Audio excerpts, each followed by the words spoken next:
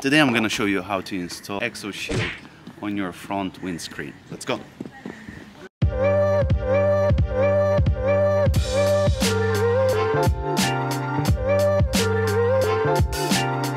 So for this project right here we're gonna use ExoShield. They usually work with dealerships only. You might not be able to uh, buy it fairly quick unless you are a dealership or a shop. But I'm gonna make sure to link some um, options for you on Amazon. ExoShield is pretty good because they're gonna give you a warranty for 4 years or 40,000 miles. So before going forward, I'm gonna introduce you to the tools you need for this project. You would need a heat gun, base one, nothing fancy. Now you need a pressurized tank for uh, water pressure. You can go with a regular sprayer like this, but obviously this would be uh, more convenient.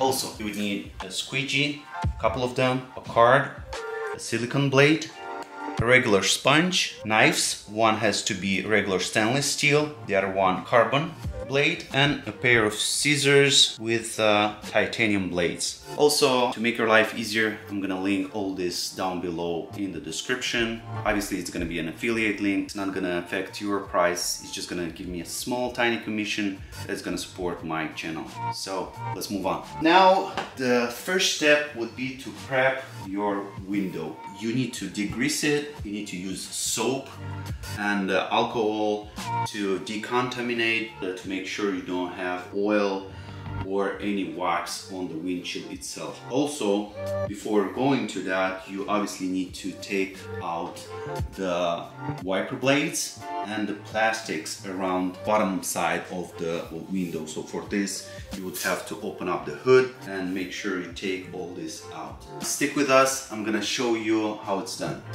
Let's go.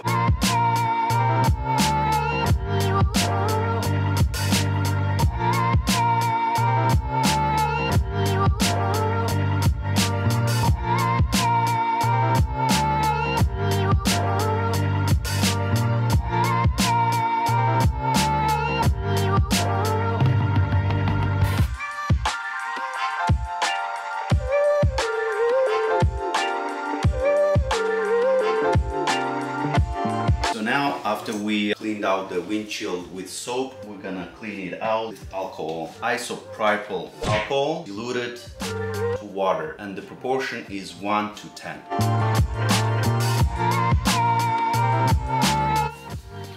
Okay guys, so make sure you take the measurement for the length of the windshield, cut it longer, make sure you don't miss a spot, bring it on the windshield and make sure liner is on the inside basically, you know what I mean?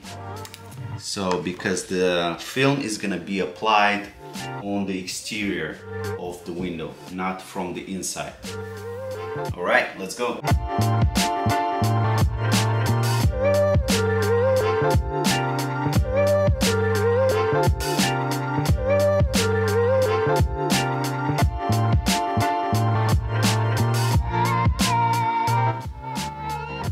Now we're gonna tack the center so it doesn't move out. What we did, we cut it to the size for the bottom and the side only. The top side and this side, it's still loose like this.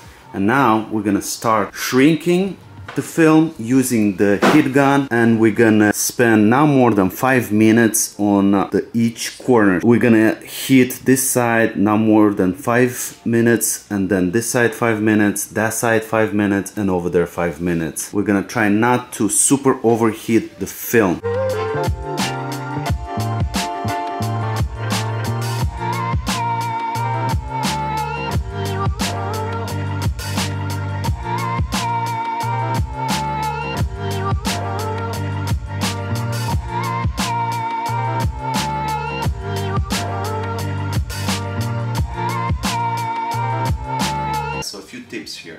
Make sure you have proper slip solution between the film and the glass. First of all, you need to keep the glass at a lower temperature at all times. Also, you need to have a lot of uh, slip solution on the top of the film as well. Goal here is to keep the card be able to slide easily on the film. This is one second. You have to keep the, the film to be able to slide easily on the glass as well. Also, make sure to take your time. It's a lot different than shrinking a window tint film. Take it slow and when you slide down on a finger, don't push it again and again. Just push it once. If it doesn't lay down, move on. Move to the next one and so on and so on. Proper technique is to use heat, push the finger down, use again heat and push again the finger down until it lays down.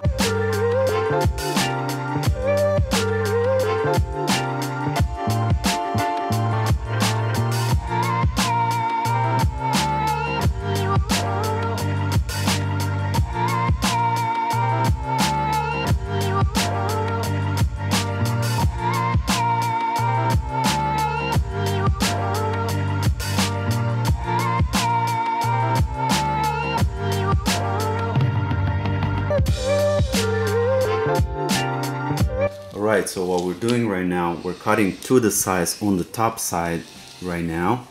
But before that, we slide it down for about an inch just to make sure we have enough room to play in case we mess up something. So always ensure you have this room in case of mistake. Always play safe.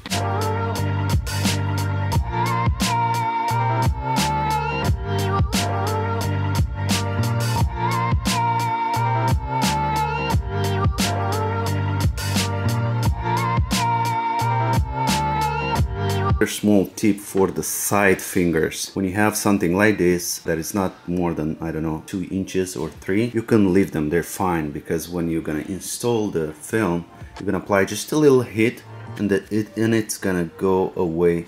You know it's gonna glue itself to the glass and it's gonna be fine. So don't worry about those too much. As you can see the film is pretty much uh, laying flat and nice on the windshield right here. So now what we're doing we're gonna cut down the passenger side excess over there. And after that we're gonna align the edges for the bottom and the driver's side perfectly. And and after that we're gonna proceed to cleaning the windshield again.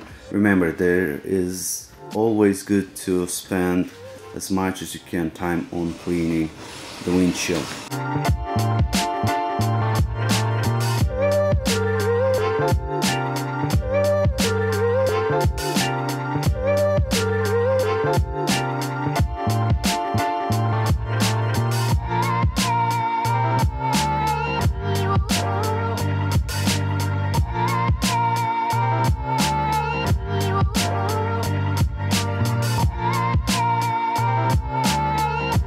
right now what we're gonna do we're gonna roll up the film and we're gonna put it the other way around basically the backwards. So the liner is gonna be on the outside. Because we're gonna unpeel the liner apply slip solution and put back the liner. So this way we're gonna prepare it for the installation.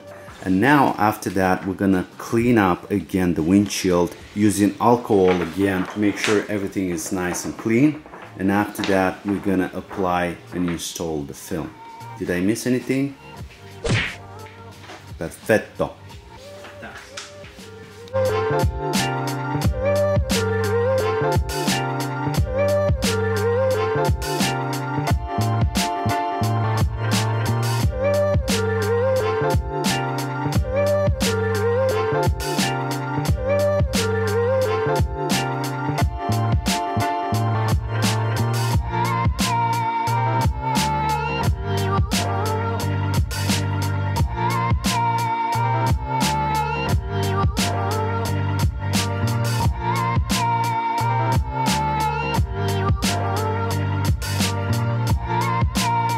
Okay, so as I said, right now we're gonna install it backwards with the liner facing up basically right now.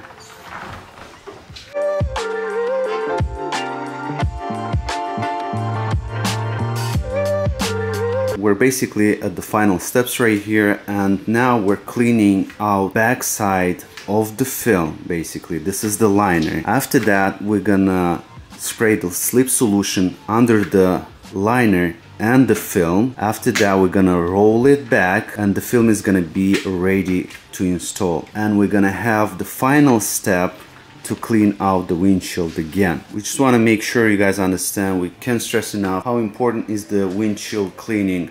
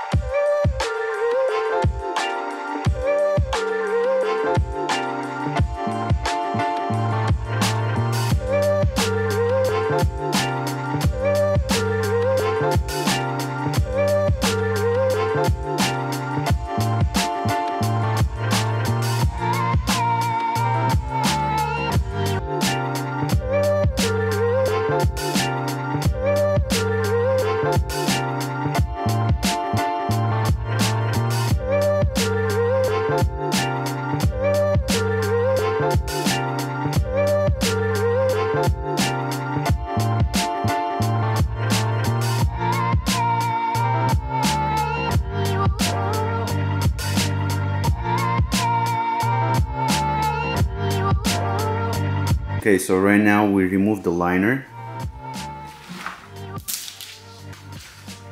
and applying the film.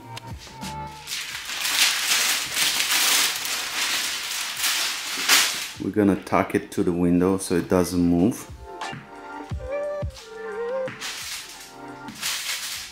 For this step, you have to apply as much pressure as you can.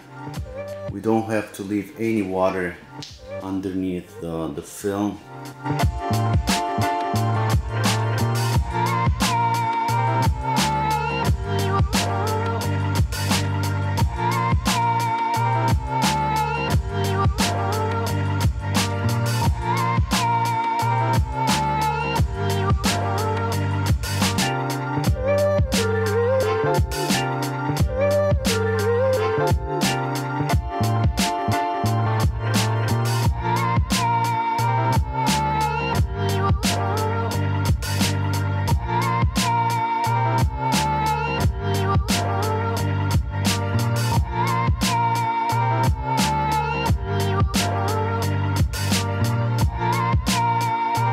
Next step is to cut it to size from the top as well. And after that we're gonna apply heat and uh, make sure we're getting rid of all the fingers across the, the windshield. And uh, the goal is to make sure we glue it at the top first.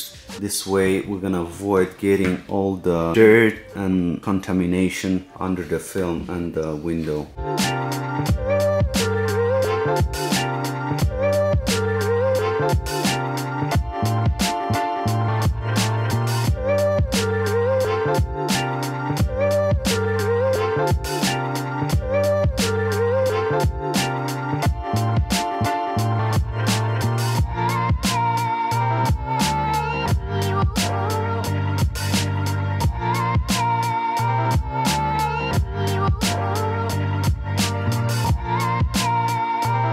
step is called shaving. You basically make sure the edge is straight and even and nicely cut per size. And as you can see guys, we're almost done. Everything lined up very nicely.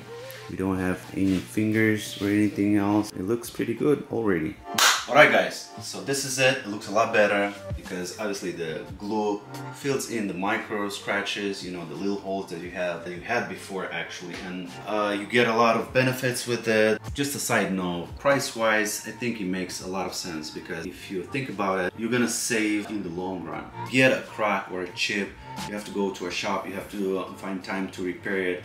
But this way you're gonna keep your original windshield with the original uh, sensors on it, with everything original. So it makes a lot of sense to save uh, the windshield in the original state. And for me it's basically a no-brainer. I do this for all my cars. So guys make sure you do it. For any other information let me know. I'll make sure you get your answers. And yeah it's a wrap Peace, and I'll see you next time.